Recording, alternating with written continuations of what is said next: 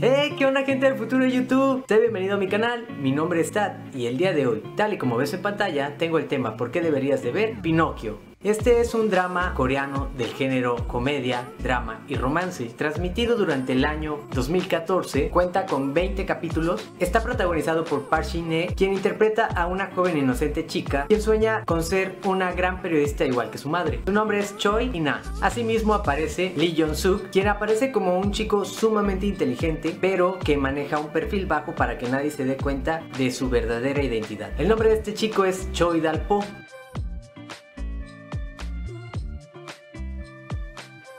La trama se sitúa en Seúl y todo esto comienza cuando nuestro querido Dalpo, que en este momento se llama Dalpo pero realmente tuvo un nombre antes, y es que este chico pierde su familia debido a un incidente en una fábrica que sucede una explosión, su padre es bombero, va y cumple con su deber, sin embargo este pobre señor pierde la vida, pero un suceso marca la historia para Dalpo, es que una persona que tiene el síndrome de Pinocchio cree ver a su padre, de hecho es una persona que es sumamente parecida a su padre pero realmente su padre ya está muerto esta persona da aviso a las autoridades y da aviso a los medios de comunicación de que él vio al padre de Dalpo. Como les comento, Dalpo no es su verdadero nombre, es un, nombre que obtuvo después de, de cierto suceso. Su padre realmente murió en el accidente, muchos bomberos murieron. Como era el jefe de bomberos, se le señala a él como el único culpable de no haber sido consciente de las vidas de los demás bomberos. Y pues como se hace la verdad una verdadera revolución en medios de comunicación, ustedes saben cómo son los coreanos y obviamente recae en ellos toda la responsabilidad social y entonces empiezan a, decirle a la esposa, o sea, era una familia conformada con el padre bombero, una esposa y dos chicos. Uno de ellos era adolescente y el otro era un niño. La sociedad les empieza a recriminar el hecho de que su padre siga vivo y que lo estén escondiendo, cosa que no es cierta porque lamentablemente es que el señor falleció, murió en el incidente y tanta presión lleva a que la mamá intente suicidarse junto con su hijo más pequeño. Este hijo más pequeño es Dalpo, una persona adulta rescata y lo hace pasar como su hijo. Es muy doloroso ver todo lo que pasa dentro de este drama que tiene cosas muy ocultas, tiene pues el misterio de cómo los medios de comunicación a veces mienten para tapar y cubrir ciertas cosas como cortinas de humo. Este drama está muy genial porque trata acerca de eventos periodísticos, cómo manejan los medios tanto con veracidad y tanto con mentiras. Está muy bueno, también está muy bueno cómo se va desenredando toda la historia y el plus que tenemos es el romance entre Ina y Dalpo, este romance que no se puede dar porque socialmente criaron así, porque el abuelo de Ina adopta al Po, entonces tiene que, tiene que guardar esas formas sociales y obviamente aunque ellos sienten algo muy fuerte entre ellos,